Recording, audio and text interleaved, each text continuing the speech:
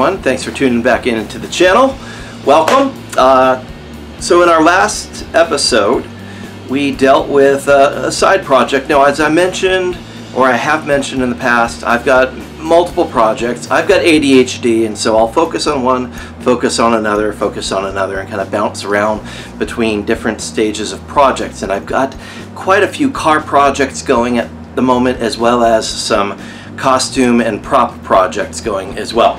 So uh, the videos may vary between those. Today uh, we are going to get back to the Corrado project with uh, cosmetic fix. Now anybody who's had a Corrado for a while knows that the fog light lenses were not properly tempered from the factory and they were very prone to cracking either due to heat or due to impact from rocks and chips, things hitting them like that. A number of years ago someone figured out that Rally fog lights, which is a simple aftermarket brand that people throw on dune buggies and trucks, had the exact same size lens as the Corrado and they started a modification process where you remove the the old broken Corrado fog light lens and uh, siliconed the um, Rally lens in its place and I did that a number of years ago, and they lasted for a pretty long time. But they are indeed cracked now, whether it's from heat or impact, I could not say. But they're cracked, they're ready to be replaced, and thankfully, VX Tuning uh, has produced the later facelift model Corrado fog light lenses in properly tempered glass and uh, following the original factory mold. So it's an exact fit replacement for your broken fog lights. Now uh, they do sell LaminX uh, protective covers to go on them. I have that LaminX. I am planning to put it on because I don't trust anything glass on the front of my car without LaminX. I've got it on my R32 with the glass lenses. I've got it on the Corrado on the E-Code lenses. They are super helpful. So highly recommend LaminX.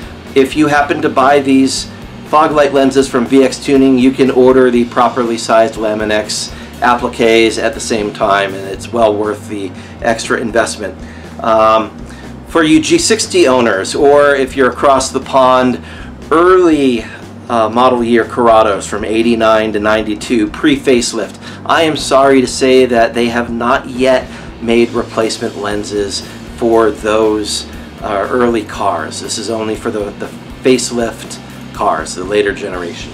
But I'm going to walk you through how to replace them. Uh, I will say that I'm skipping a few steps because I do have the front end of the Corrado taken apart at the moment so that I can put in the new AC condenser once that is finished getting uh, custom made for me.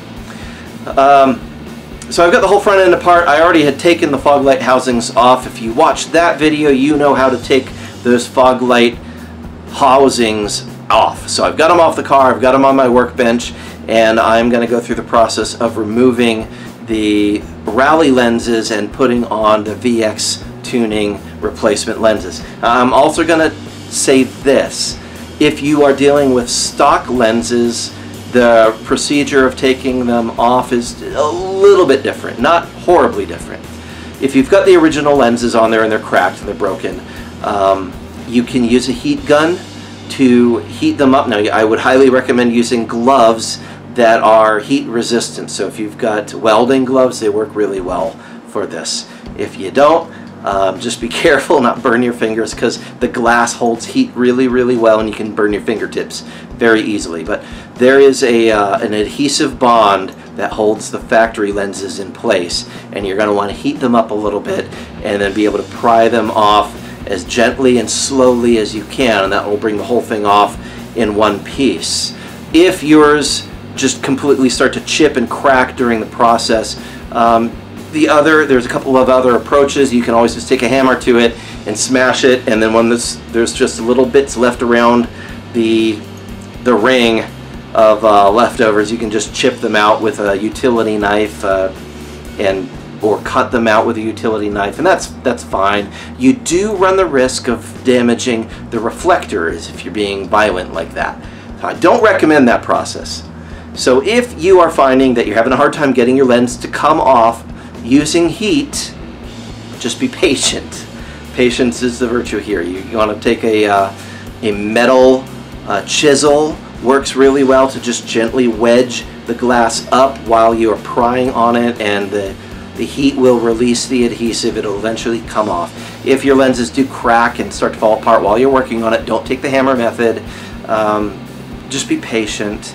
Keep using heat. Use the chisel. Use a utility knife. Just take it bit by bit and you'll eventually be able to pry all that stuff out. Um, now since I'm past that process, I had already replaced my factory lenses with the Rally lenses.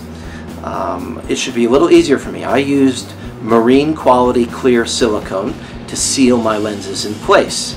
And that stuff does give a really good bond. It's not particularly uh, heat affected, so uh, using a heat gun on it isn't going to do a whole lot for me.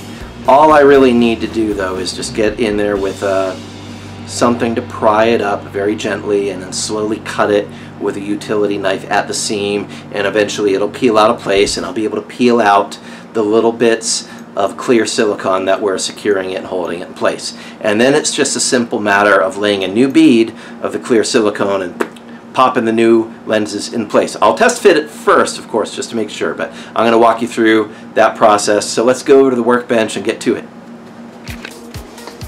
Alright, so here I have my left-hand side fog light assembly.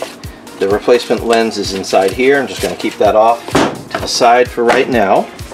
And what I'm concerned with at the moment is the silicone bead that is right in here holding the old lens in place. Again, um, this stuff isn't really very heat reactive like the original factory sealant, which is kind of a double-edged sword here. Um, so I'm just going to cut into it with a utility blade and just start separating down here. I've already got complete penetration on this side. And once I have that, this whole lens should come off fairly easily with just a little bit of persuasion from any anything that's going to wedge it really. Um, really what I want to do is come along the upper edge here and the lower edge and, and get some bite in there to lift it out. And uh, patience really is the key for this. You, you don't want to brute force it.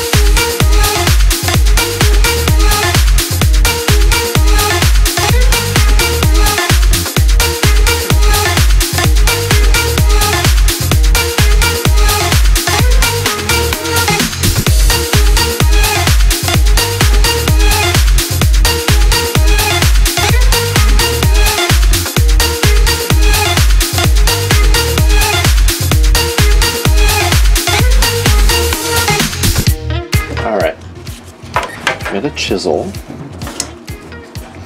And I'm just going to very gently convince this silicone to let me get some bye in there right along the edge. Now again, I may need to do some more passes with the uh, the knife make sure that it's really, it's a very clear release. And again, be patient with this. This is not something you absolutely have to rush.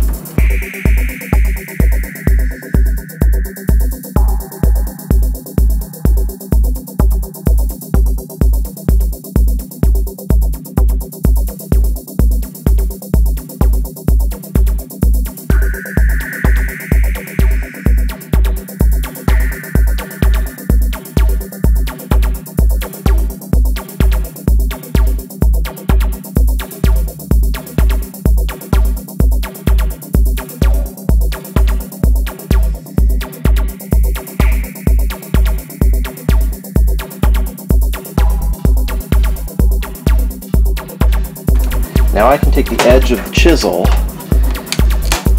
Oh, yep, see how this, this is all cracked. I've got LaminX on it. This is, um, I had protected it with LaminX previously. And the LaminX is helping me right now by keeping all of this glass together as I pry it and lift it free. And I'm going to work my way down the edge here, trying to be careful not to wreck the reflector.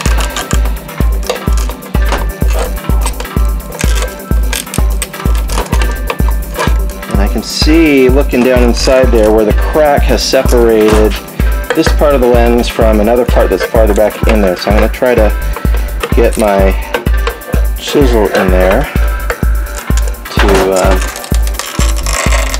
have more release, but I may have to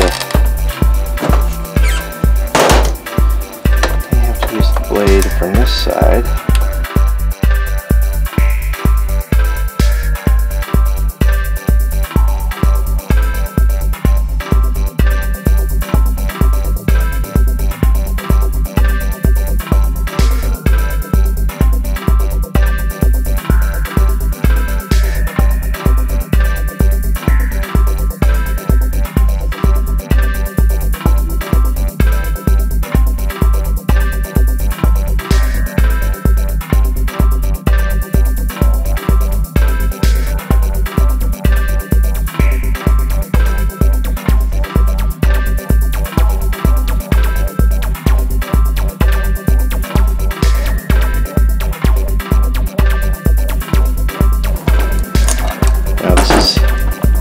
Has some sharp edges, so gloves, use gloves.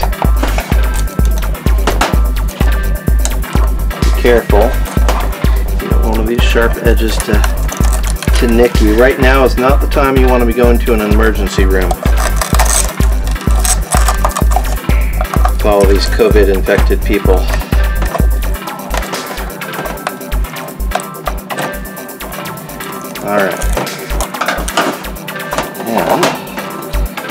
Voila, the lens is removed. Now I've got a little bit of cleanup work to do here the old silicone in order for the new lens to sit properly. So I'm just going to take some scraping tools and the knife and just get rid of the silicone and, and get that as cleaned up as I can. And then I'll do a test fit with the, uh, the replacement lens.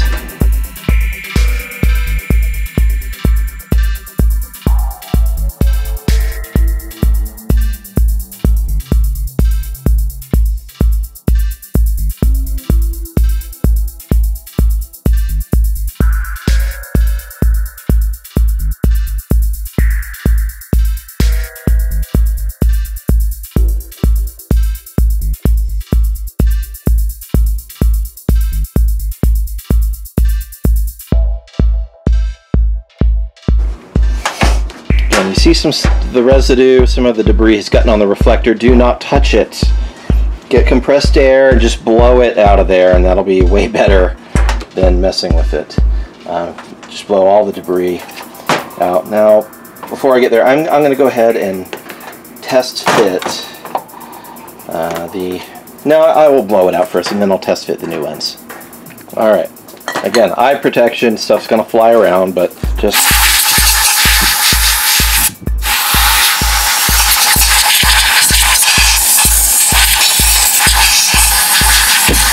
That's it.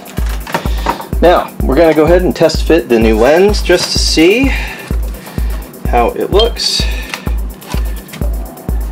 Now, here's the new lens. You see that VXT has molded their initials down into the corner. There aren't any other markings on them, so if you live in a country where they look to see the official safety markings, they might not give you a pass on this. Just FYI. But test fit. Oh, that is beautiful. So I don't need to do any more cleaning of the silicone really, and it's ready to, to go in place. So to that end, I am going to clean off my desktop here, my workspace, and make a little bit more room before I get the uh, sealant and we deal with that. Just move this off to the side because I do have one more lens I will have to deal with after this. What, what do you think? Should I put this on the wall of shame or toss it? Yeah, I don't think this is wall of shame worthy. I think this just needs to go. Um, but yeah, it's it served its purpose for a long time, so thank you, Rally Foglight. So, to secure this lens, we are going to be using you really could use any marine quality silicone it's, it's watertight is what you want to aim for so um, aquarium silicone works just fine. It's, it's heat resistant enough. I'm going to be using, this is Accuform Plastics Siliseal. It's a clear silicone. It's, uh, it's got some good heat resistance to it. Uh, it's the same stuff that I used before. And it doesn't need a ton of this stuff. So I'm going to lay it right on the lens itself. Just a very small bead and press it into place and that should be enough. I don't want like overwhelming amounts of this stuff spilling out. So just enough to make a decent seal, and that's it.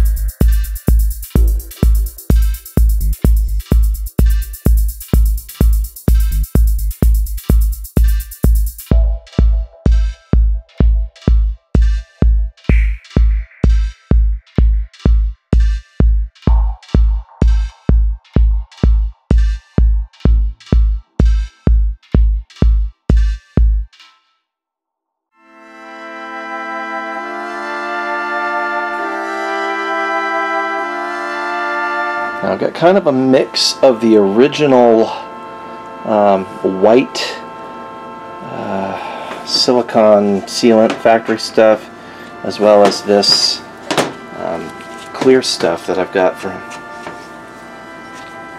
so it's not going to be like absolute showroom perfect but man um, it's going to pass the one foot test that's for sure. Nobody else unless they're looking for Concours level of perfection. They're, they're not going to notice it. So anyway, just going to wipe up any residue from the silicone from my gloves. Make sure I don't have any smears on this. And my next step is I'm going to put the LaminX on there. Now, LaminX comes pre-cut for every car. So with this one, I've got uh, the leftovers from my E-code kit, and that'll just fit on beautifully right there. I don't think there is a big difference between oh yeah there is there's curves match alright so this should be fairly straightforward because I have not um, I don't have any dust or debris or anything in there. So uh, a spudger tool is helpful for getting any bubbles out of there. I know there's a lot of different ways to go about this. Um, some people spray water on there slide it around and then and then um, you know manipulate it the water is gone. If I were not starting with a brand new lens, I would probably take that approach. As it is, I think I can get away with just putting it straight on there as if I was putting on a uh, protective screen for a phone. So I do want a spudger to be able to um, gently convince any bubbles to go away. I'm going to go grab one of those from my computer. Oh, here we go. This will do. Just a plastic spudger, that'll work. Alright, so they provide these little tabs on the outside for you to grab from so that you don't touch any of the adhesive surface on the actual lens assembly. And be real careful to do that because the adhesive is not really forgiving for any sort of oil or uh, contamination, which I've just gotten on here. Uh, oh, no, and it's lifting my lens off of that. Uh, okay, so note to self.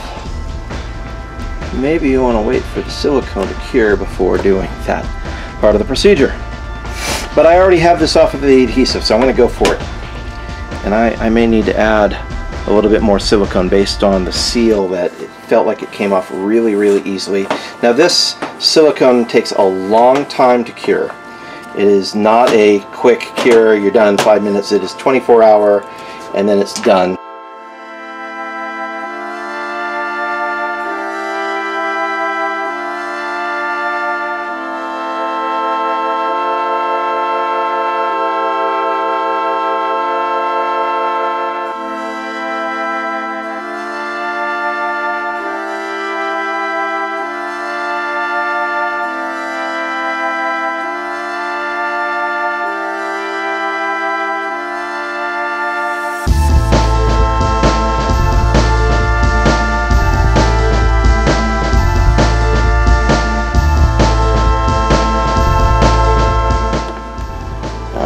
That if you were to go to a vinyl place where they do wraps, they could install this for you so perfectly and it would be wonderful and beautiful and you just wouldn't have any any issues with it.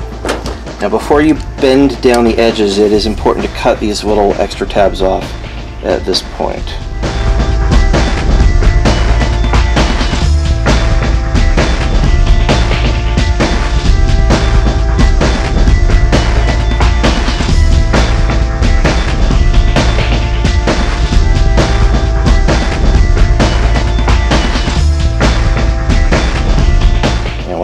I, I, would like to remind everyone, my car is a driver. Yes, I put it in shows. Yes, I try to keep it looking really good, but at the end of the day, my car is going to get driven, it's going to see the road, it's going to see actual miles. It is function first that I'm concerned with. So that looks pretty good. Got the LaminX on there. Got the new lens on there. Is it perfect? No. Is it way better than it was? Well, let's compare. I'm going to pull up the old one because I haven't done the other side yet. And we can compare the two. So here, here's the old lens. Here's the new lens. And uh, this one's actually not cracked, so hopefully that'll be a lot easier come off. You can see the difference in the flute pattern. Um, you can see how this one's a little smaller, so there's a lot more gap along the edge compared to this one that goes all the way out to the edges properly. So I'm going to pull this one out, and then if I'm able to pull that out without breaking it, I guess somebody who needs a spare rally lens, well, send me a message and let me know if you need it. We can work something out. For our second lens, what I'm going to do, I'm going to take a slightly different approach for lens number two, and I'm going to add the LaminX to the lens first before I even get anywhere close to mounting it, and that seems like that might serve me a little bit better in the long run. So let's do that.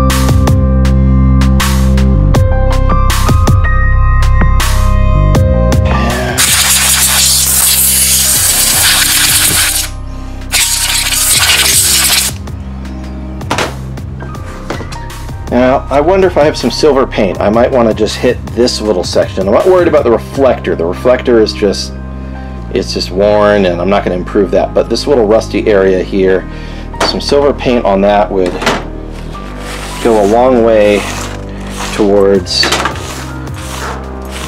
not having a very obvious, obvious imperfections sticking out the. As it happens, I, I do have a little bit of metallic spray paint that I can put on there. That's just so bad I think I'm to hit it with some of this metallic paint just to get rid of that darkness there. It's, it's really, you know, this reflector is what it is. It's not to improve, improve or hurt the reflective properties of it.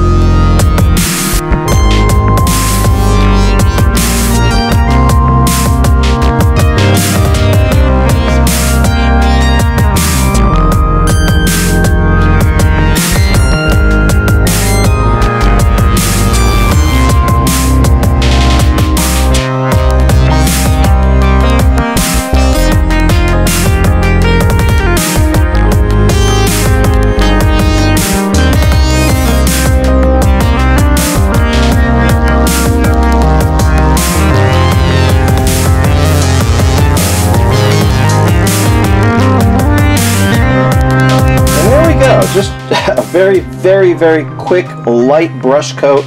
Well, not brush, but just sort of one pass on either side, and it's looking way better.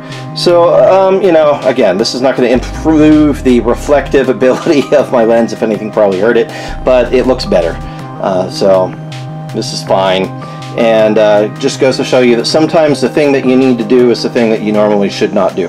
Anyway, we're going to proceed on to laying the lens in there. So I'm going to get some silicone in place on our lens. I'm going to get myself a paper towel here to wipe off any excess as we're working on it.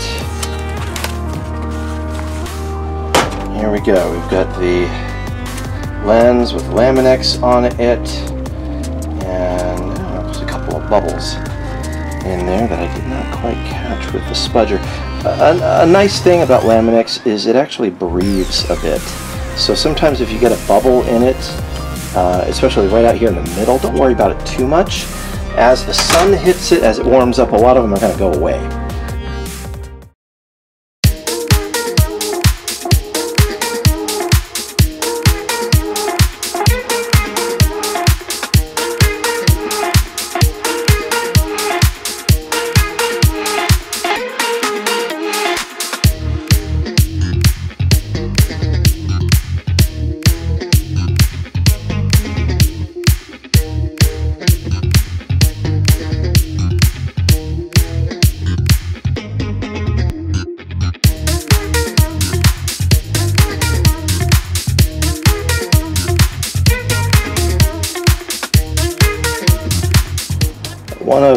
Subscribers had asked um, why I didn't have more dogs in the videos. Uh, some of my recent ones have not had dog content, and I apologize for that.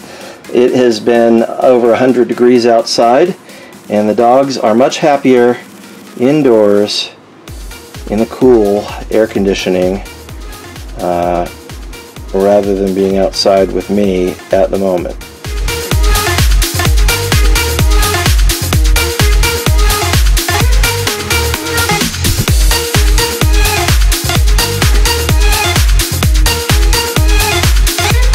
Oh, that feels like a really good, firm fit.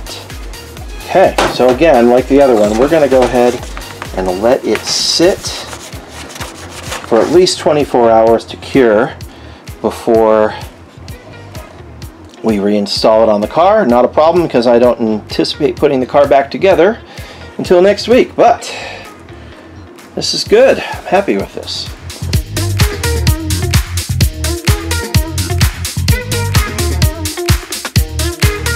All right, so we've got the new VX tuning lenses siliconed onto the fog light housings for my Corrado, and those are going to be sitting overnight to cure. Very happy with how that's come along so far.